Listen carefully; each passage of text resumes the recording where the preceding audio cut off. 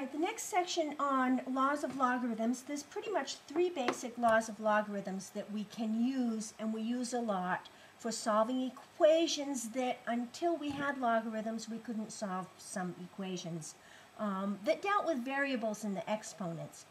And logarithm rules are based on the rules of exponents in regular algebra. For example, if you're multiplying y squared times y to the third, your rule is to add the exponent so you get y to the fifth. And all of these rules, this is the rule for adding exponents. Um, this is a rule for if I had an expression as a division problem. And then the rule for if you have an exponent base to a power, you multiply the powers. So with that in mind, I'm going to show you how to use some of these log rules with basic examples. So, um, for example, suppose I had um, log base 2 of the number 12. Well, I could rewrite that. I have a lot of choices. I could think of some multiples of 12. And you know that 12 could be written as 2 times 6. Now do you see how it's approaching what this law might look like? Do you know how I could rewrite this as the sum of two logarithms? I bet you do. Log base 2, 2 plus log base 2 of 6. And that becomes another way to write that. Somebody else might say, hey, 12 doesn't have to be 2 times 6. What about 3 times 4? I could write log base 2, 3 times 4.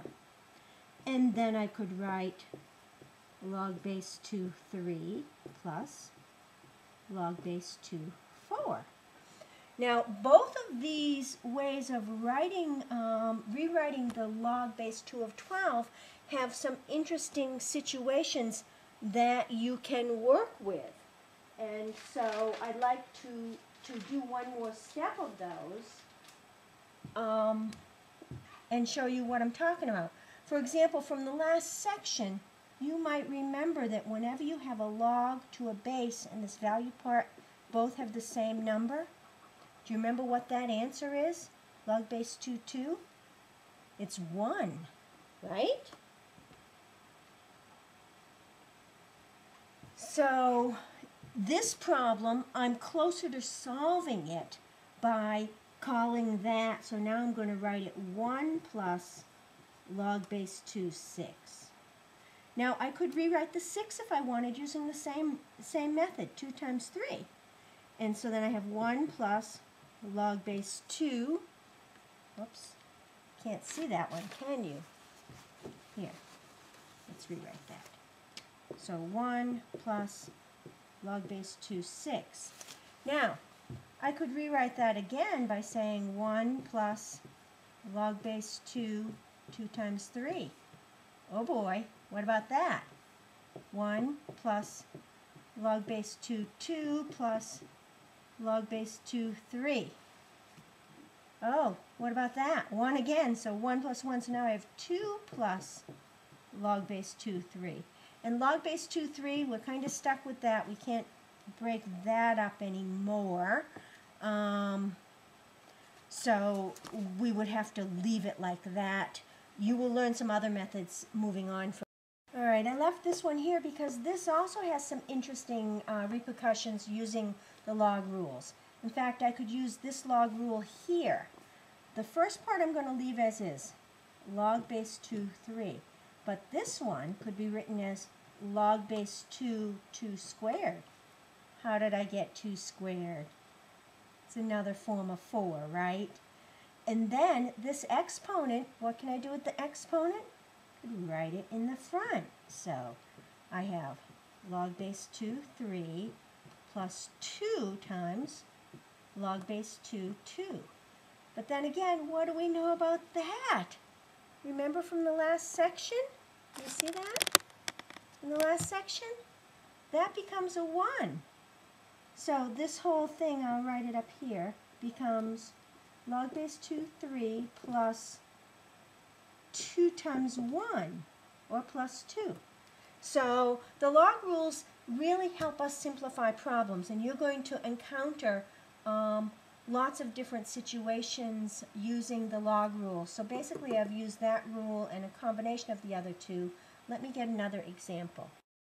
Alright, so I've got two examples here to show you how to use these log rules for maneuvering stuff.